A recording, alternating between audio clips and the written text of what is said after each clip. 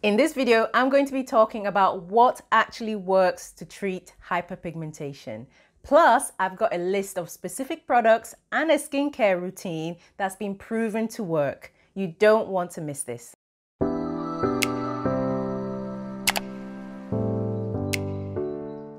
In today's video, I'm going to be going into detail, detail about hyperpigmentation, specifically what causes it, why it happens, and more importantly, what ingredients and things that you can do to help get rid of your spots of hyperpigmentation. I've made it easy for you to navigate by including the specific timestamps and subsections below. From first glance, you might think that the skin is incredibly simple, but it actually isn't. It's quite complicated and fascinating at the same time. Our skin is broken down into three main layers. You've got the epidermis, which is on the topmost surface.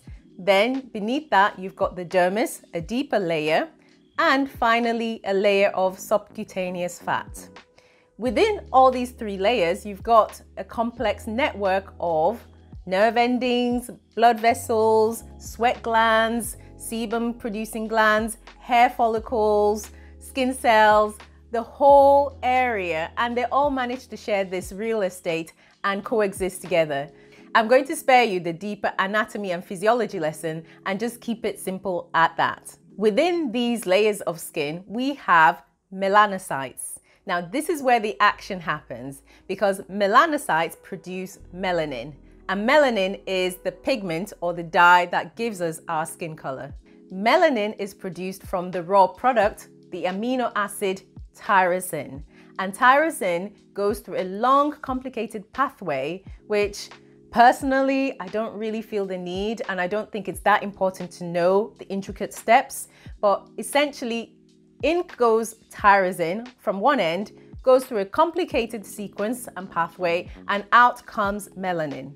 And all this happens inside these melanocytes. So the analogy that I would use is that the melanocytes are the factories and in one end comes tyrosine, goes through a long chain, like a conveyor belt with lots of different things happening. And then the other end and the finished product is melanin.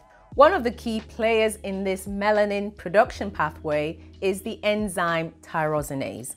And what it does, it has a role to play in converting tyrosine into melanin. And that's a key feature of a lot of the skincare ingredients and how they work to reduce hyperpigmentation. But more on that later. I mentioned earlier that we all have melanin, but how does this explain the variation in our skin tones and how some people are very fair and some people are very, very dark? I've got an answer for that, and that's to do with how much melanin that we have, how active they are, and the type of melanin. We generally have the same amount of melanocytes. However, we know that these melanocytes are more active in people with darker skin. Did you know that not only do darker skins tend to have more active melanocytes and they make more melanin, they also produce a different type of melanin to those with lighter or fairer skin tones. Yes, that's true because there are two main types of melanin. That is pheomelanin and eumelanin. Pheomelanin tends to have a yellowish reddish pigment and it's more common in people with lighter skin, Caucasians, if you're fair skinned. Whereas eumelanin is a deeper brown blackish tone and is found in those of us with a darker complexion.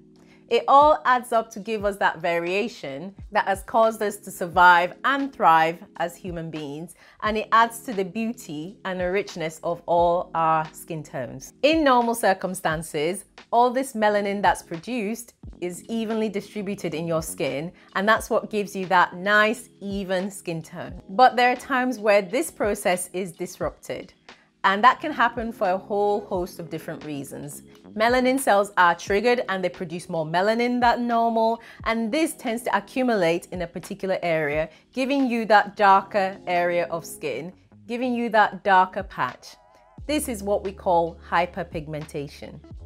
Hyperpigmentation can happen for a whole host of reasons. It can be as a result of a medical problem, an underlying um, issue that you've got going on. Certain medications can make this more likely to happen, hormonal reasons. So if you have an underlying issue, being pregnant, that can cause it. And there is also hyperpigmentation that can happen as a result of a particular trigger or damage to the skin. And this is what we call post-inflammatory hyperpigmentation.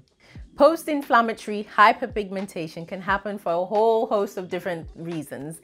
Most commonly is as a result of a skin condition or a skin issue. Things like acne, eczema, psoriasis, underlying skin problems that may have come and gone, but you're left with the dark marks and the dark spots. That is a leftover reminder of what you used to deal with and it can be tricky to get rid of these dark spots in their own right. For me and many other people, another reason is as a result of cuts, scars, marks, bruises, things that you might have had as a child. Definitely, I fall into this category because I still have a mark on my knee, which is from when I tripped and fell when I was a child, playing out and being rambunctious. And I still decades later, still have that scar as a visible reminder for what happened way back when. So that's another reason for post-inflammatory hyperpigmentation.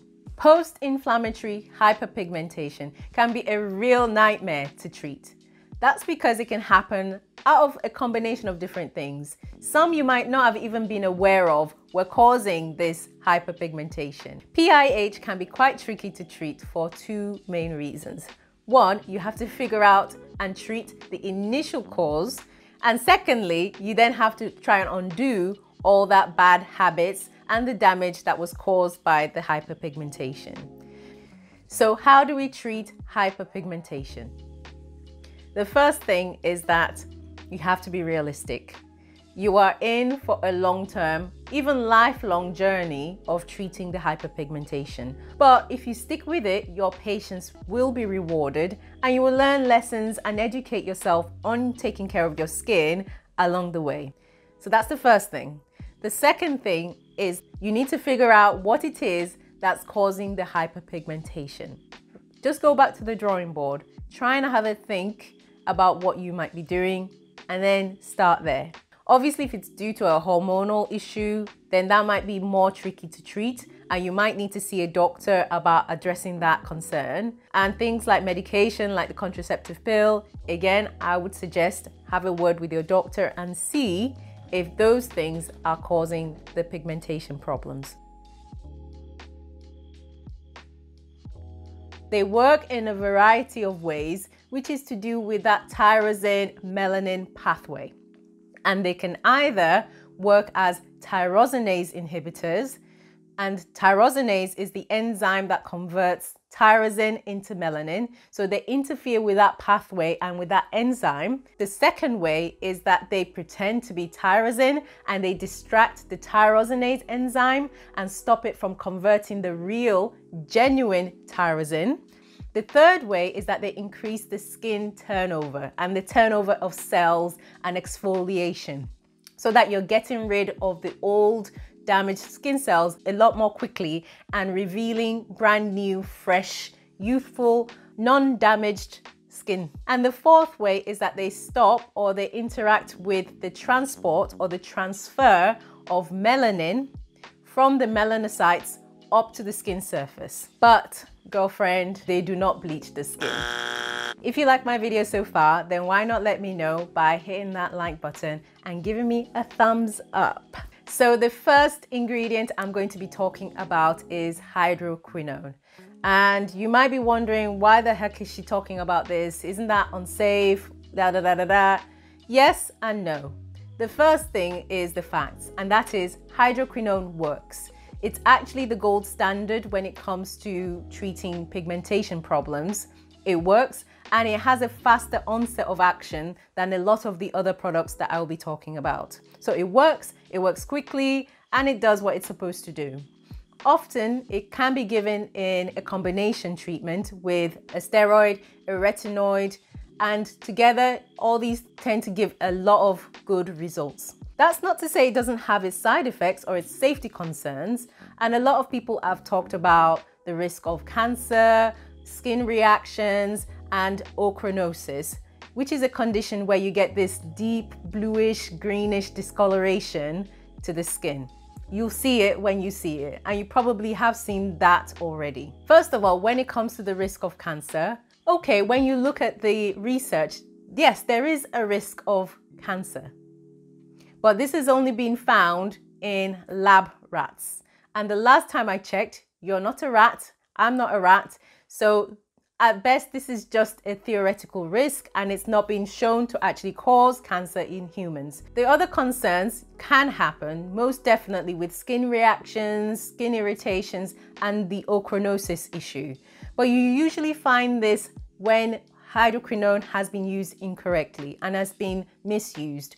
Usually, if you're using it in excessively high concentrations, you're using it for a long period of time, and you're mixing it with other unsafe ingredients like mercury. And that's usually when you tend to run into problems. So it's for this reason that hydroquinone has to be given only under expert supervision. Here in the UK, it's unlicensed and you can only get it from a private dermatologist who monitors you and you're only really supposed to have it for a maximum of three, four months. Any longer, the effectiveness starts to kind of wane and you start to run into a higher chance of developing side effects. And also there's the issue of rebound hyperpigmentation, which is when your skin gets darker again rather than lighter. So because we have other ingredients that do just as good of a job, you might find rather than going through all the problems and the barriers with hydroquinone, to stick with something that's far, far safer. The next ingredient is kojic acid, and this comes in various formulations, powders, creams, lotions, soaps. And the instructions for how to use it depend on which method that you're using. In low concentrations of around 1%, kojic acid is safe to use. And that means you can bypass all the concerns that you have with hydroquinone, for example. The thing about kojic acid is that it's a sensitizing ingredient, meaning that it has the potential to cause skin reactions, skin allergies, and contact dermatitis. This is a problem, unfortunately, that doesn't go away. So if you start using kojic acid and you develop redness, itching, rash, the best thing to do is to stop it. A lot of these reactions don't go away. In fact, they get worse the longer you keep using the product. And it can get as bad that you get really bad, severe reactions, and you may even need to go into hospital to get treatment for those reactions. So in this case, prevention is better than the cure. If you start using kojic acid and you develop any reactions, better to just avoid it and move on to the next product. Plus, kojic acid can also make your skin more sensitive to sunlight. So Unfortunately, if it doesn't work for you, there are other things that will. Arbutin is the next ingredient, and this is also known as alpha arbutin. For those of you who are skeptical about hydroquinone, you can use this because it's a natural cousin to hydroquinone. The good thing about arbutin is that it's safe to use in all skin types and skin tones, but at higher concentrations, it does have the potential to cause paradoxical hyperpigmentation, which is that rather than lightening your spots, it actually makes them darker. So beware. The next ingredient is vitamin C. Now, before you start rubbing any old lemon or orange on your skin, the active ingredient is ascorbic acid. And this is an antioxidant. What antioxidants do is that they help to cancel out the effects of free radicals. Free radicals are what's responsible for causing damage to the skin, signs of premature aging, and all the other stuff that you just don't want. Antioxidants work by neutralizing these free radicals so that they stop attacking the skin cells. Not only does it help to reduce hyperpigmentation, but it also helps improve the skin texture. It's an anti-inflammatory agent and also helps to improve collagen production, all the things that we need for healthy, vibrant skin. Vitamin C needs to be formulated in concentrations of at least 5% for it to be effective. But if you're shopping around and looking for a vitamin C serum, I would recommend to look for serums that contain around the 20% mark. That's really when we're in that sweet spot and we're going to get more effective results. The other thing about vitamin C is that as good as it is, it doesn't really do a lot on its own. And for you to get the most out of vitamin C, it's better for you to combine it with other ingredients, usually things like vitamin E, or hyaluronic acid. These ingredients help to improve the effectiveness, the power of vitamin C and help it to penetrate into the skin better. You need to store vitamin C properly. This is because when exposed to light and air, it becomes oxidized and loses its effectiveness. You can usually tell when this has happened as what's supposed to be a normally clear liquid then turns dark brown. So make sure to store your vitamin C products correctly. They usually come in opaque containers that are either airtight, like an airless pump or a dropper bottle, rather than a tub or a transparent bottle. Azelaic acid is another useful ingredient and it's got multiple uses as well. It's also used as a good acne treating medication. It's a tyrosinase inhibitor and also helps to neutralize free radicals. It's available over the counter, but for you to get higher strengths, you have to get those on prescription. Overall, azelaic acid is a good ingredient, but it can sting, so beware. Retinoids or retinols are another widely used skincare ingredient and they have multiple benefits. They also affect that melanin pathway that I mentioned earlier. They help to increase the cell turnover so that you get rid of the damaged cells a lot more quickly. And when combined with other ingredients, they actually help to get those ingredients to penetrate better into the skin. So they're a really useful ingredient if you're not already using them. They're usually better used at night because of the issues with sensitivity to sunlight and there can be a learning curve for your skin to adjust. They can cause irritation, redness, even some mild peeling as well. So it's better to start with a low concentration and build it up. You might also find starting off with maybe a couple of times during the week or every alternate night and gradually as to your skin tolerating them. However, they are one of the main products that I swear by. It's just that they don't work quickly usually around 18 to 24 weeks. And that's about three months, give or take, or longer before you start to notice the effects on your skin. Niacinamide is another ingredient that's making the wave in skincare circles. And personally, I was a bit slow to get on the bandwagon and see it for what it is. But it's another good ingredient that has multiple uses, not just in terms of hyperpigmentation, but skin texture, tone, firmness, all that kind of juicy good stuff. Niacinamide is a form of vitamin B3 that can come from foods such as meat, fish, milk, eggs, green vegetables, and grains. It's versatile and can be used for almost any skincare issue as it evens out the skin, it improves the skin texture, protects the moisture barrier, lots of juicy good stuff. So if you're not using it already, then be sure to consider it and add it to your skincare list. Chemical peels are a lot more powerful and a faster way to get results, so don't skip them if you're looking to make a lot of changes and improve your skin. What is a chemical peel? In short, they are higher strength exfoliants they have lots of uses, so if you're not using them already, don't sleep on them because they do have a whole host of benefits.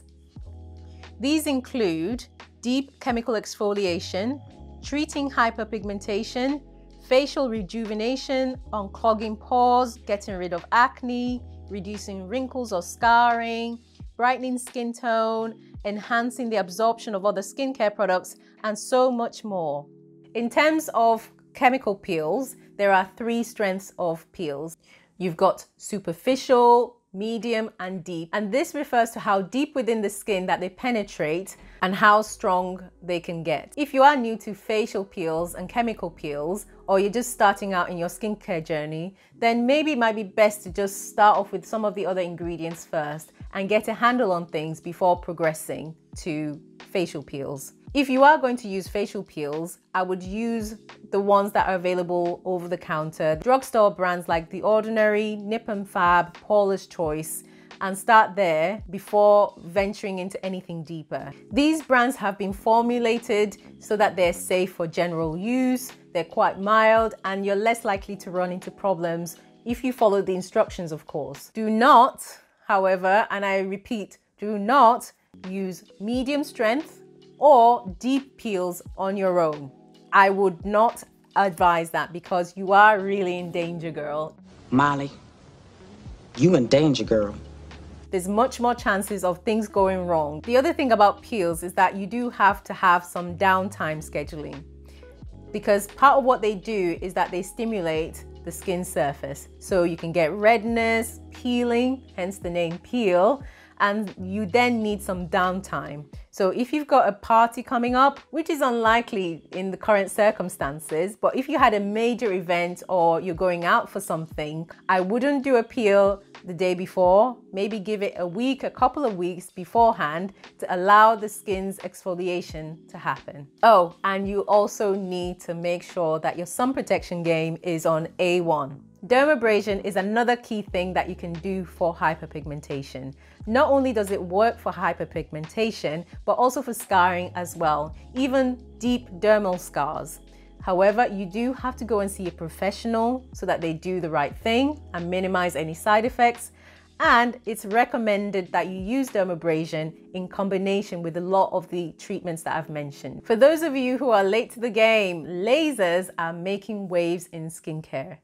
We have been using lasers for decades for lots of other skin issues, for tattoo removal, we've been using for hair removal, for skincare issues, and it's only now that we're realizing that it has the potential to make a lot of benefit with hyperpigmentation. The problem with lasers was that when they were first developed, they were just not suitable for those of us with darker skin.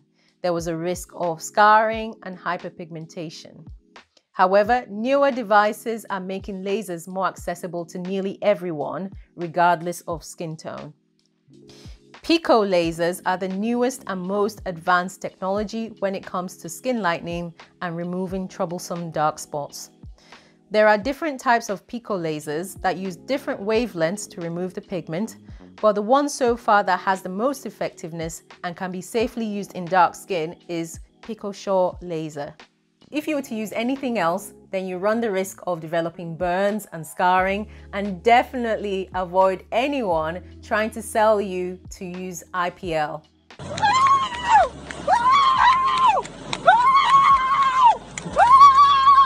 Don't use that, sis. Don't use that. That is a problem. I wouldn't recommend lasers as a first line option. It's usually best if you've tried other methods and those things haven't been effective for you and after that, you can then go and explore if laser might help. My advice when looking at laser treatments is to do some research and explore different options. Speak to different clinics and have consultations with different people. Make sure that they're explaining the process to you, that you understand what's involved before you go ahead. When it comes to skincare, it's very easy to start wading into complicated territory. Serums upon serums, creams upon creams, 10 step routine, this step routine, do this, do that, do everything. I just don't have time. Ain't nobody got time for that. So I'm gonna keep it simple. I've made things as basic as possible so that even I can follow along, and it's much more likely that I will keep with it if it's something that's straight to the point. Personally, I like to keep within the cleanse, tone, moisturize limits. So the way I like to look at it is like a sandwich. And what goes into a sandwich? Well, you've got two slices of bread and then you've got the filling inside. So with your skincare routine, you need to make sure that you've got the bread and then you've got the filling. What's the bread? The bread is the cleansing. So that's this layer of bread. Then you've got the toning, which I actually look at as butter.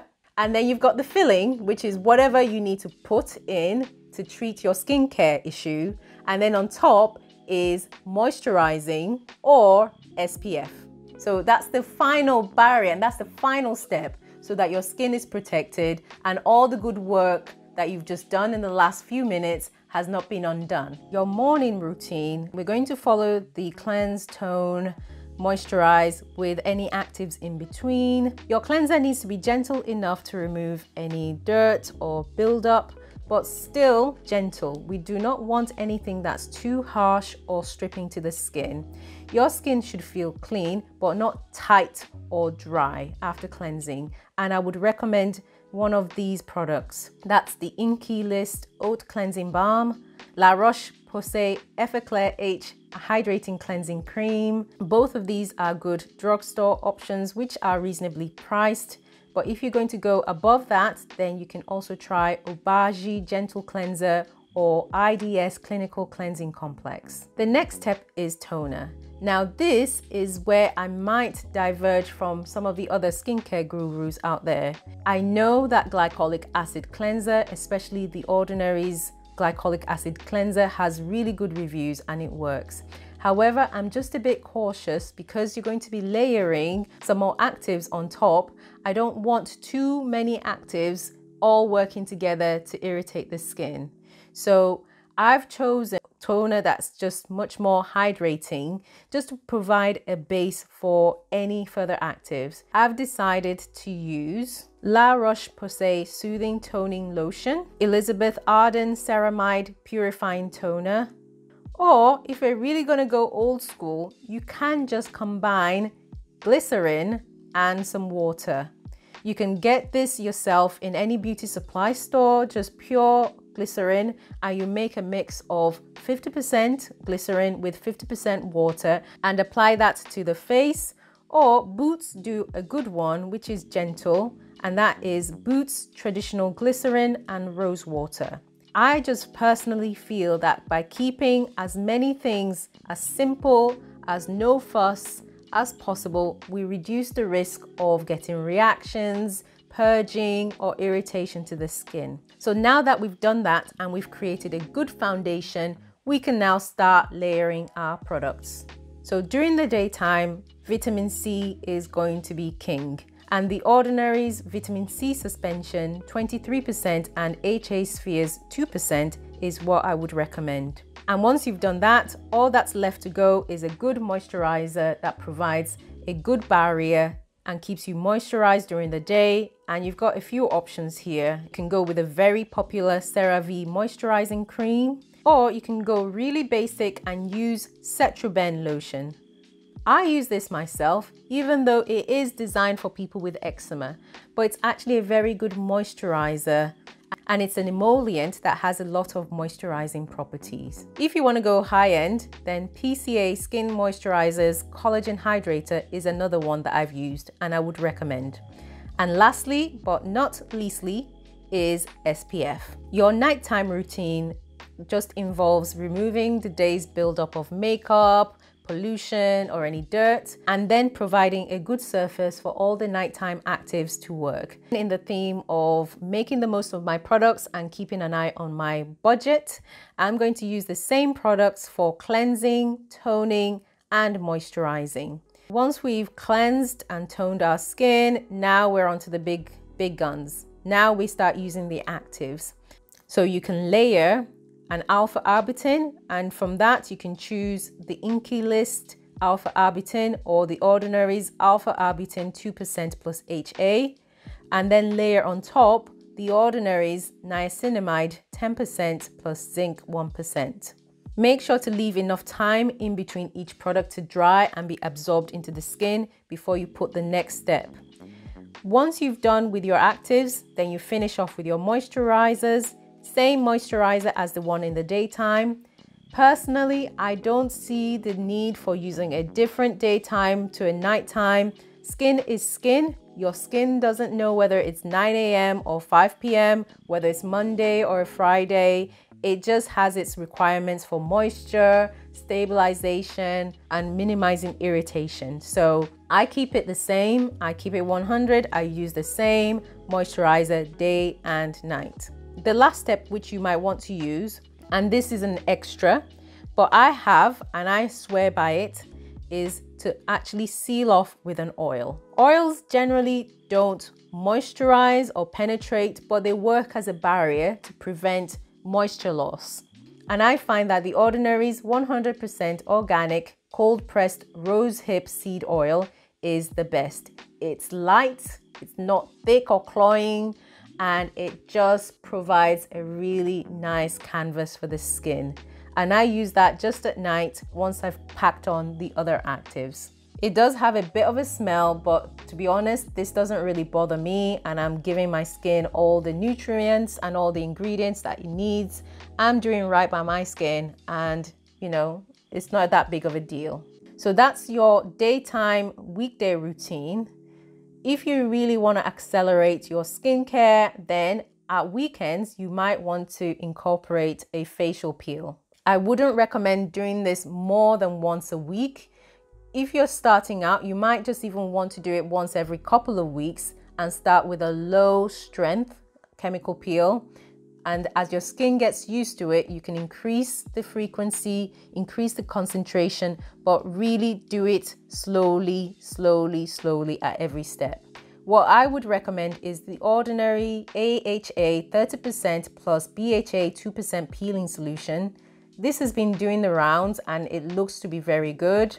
Another option is Bravura London Glycolic Acid 10% peel. What I would adv probably advise is that the night before you're planning to do the peel, not to use any actives and just give your skin a 24 hour period of rest. So if you're planning, so an example is if you're planning to use the peel on a Saturday, then the Friday before, I wouldn't use any actives. I would just focus on cleansing, toning, and moisturizing plus SPF in the day so that my skin just has some time to just rest before I attack it with a facial peel. And I will do the same on the Sunday as well. No actives, no acids on the skin. Just give it another 24 hour window before I start again on Monday. So my routine would be Monday to Thursday, AM, PM routine, AM, PM routine, Friday, just cleanse, tone, moisturize, cleanse, tone, moisturize. Saturday is the peel. Sunday, cleanse, tone, moisturize, and then start again on Monday. Let me know in the comments which part you found the most useful and which bits you're going to try out for yourself. And if you haven't already, make sure to like this video and consider subscribing if you found it helpful. And I'll see you in my next video. Take care, guys.